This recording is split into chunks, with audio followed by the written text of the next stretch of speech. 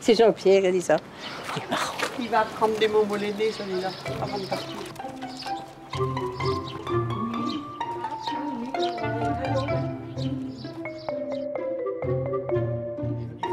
Non, mais ça a été avant.